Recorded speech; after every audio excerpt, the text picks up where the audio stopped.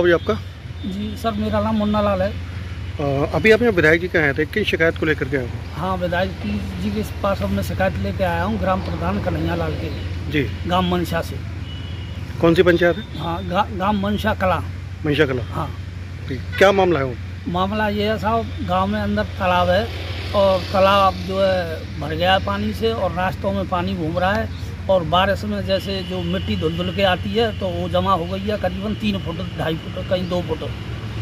और मैं तीन महीने से कन्हैयालाल प्रधान से लग रहा हूँ कि भाई इसकी सफ़ाई करा दे। निकलने के लिए बहुत लोग आधा गाँव मजबूर है और जो रास्ता नहीं है, गाँव में इधर से उधर घूमते रहते हैं, कीचड़ों में होकर पशुओं को बांधने के लिए जाते हैं। लेकिन कन्हैयालाल पहले तो हाँ हाँ करते रहे।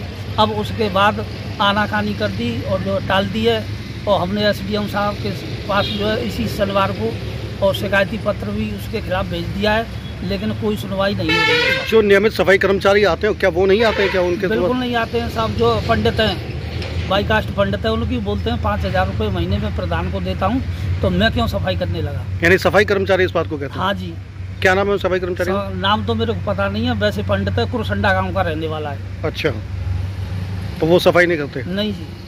अच्छा, तो अब क्या कहना है? अब बस यही कह रहे हैं साहब हमारी वो सफ़ाई रास्ते की सफ़ाई होनी चाहिए जिससे कि लोग जो है आने जाने से बहुत परेशान हैं। कितने लोगों को निकलना रहता है कम से कम मान लो सौ लोग उस रास्ते से निकलने वाले। राज्य कल आपने एक अधिकारी को लेकर के माननीय मुख्यमंत्री को शिकायत की है। किस संदर्भ में शिकायत की कौन अधिकारी है और क्या लापरवाही उनके द्वारा की जा रही है? देखिए ग्रामीण अंचल में जो भी सफ़ाई कर्मी लगाए गए हैं वो डीपीआरओ यानी विकास भवन के द्वारा लगाए गए हैं। और जब हम गाँव में जाते हैं तो मालूम पड़ता है कि पूरे गाँव में नालियों में सिल्ट भरी हुई है। गाँव में सफ़ाई नाम की कोई चीज़ नहीं है। वहाँ के प्रधान को बुलाकर जब पूछते हैं कि आखिर गाँव में सफ़ाई क्यों नहीं हो रही है तो ज़्यादातर प्रधानों का ये आरोप होता है कि सफ़ाई कर्मी हमारी नहीं सुनता है और कहता है कि हमारा तो संबंध सीधा विकास भवन और डीपीआरओ से है। इस संदर्भ में मैंने कई प्रधानों के वर्जन लिए। उसके बाद मैंने डीपीआरओ हाथरस को फ़ोन किया, लेकिन मेरा कई बार फ़ोन लगाने के बाद उन्होंने फ़ोन रिसीव नहीं किया, न कोई लौट के उनका उत्तर आया। तो मैंने पहले जिलाधिकारी को आठ दस दिन पहले एक पत्र लिखा कि ग्रामीण अंचल में सफ़ाई नाम की कोई चीज़ नहीं है, जो भी सफ़ाई कर्मी हैं वो अपने घर बैठे रहते हैं और कोई सफ़ाई का कार्य नहीं करते। जब उसका उत्तर नहीं आया पत्र का तो मैंने माननीय मुख्यमंत्री जी के लिए पत्र लिखा है और इसमें स्पष्ट कहा है कि सफ़ाई के नाम पर जो भ्रष्टाचार मेरे विधानसभा के अंदर जो हो रहा है उसकी जाँच करके तुरंत उन लोगों के खिलाफ कार्रवाई की जाए जो इस कार्य में संलिप्त हैं।